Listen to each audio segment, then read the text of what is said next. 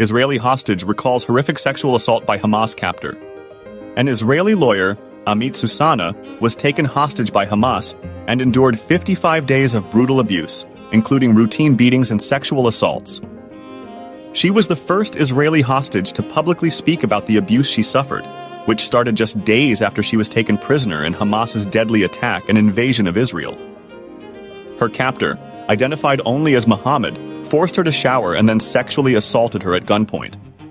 He harassed her and frequently subjected her to sexual abuse, leaving her in a state of constant fear and dependency. After enduring the abuse, Soussana was finally released on November 30th, along with 105 other hostages during a ceasefire. She reported the sexual assaults within days of her return and has remained consistent in her accounts of the abuse she suffered.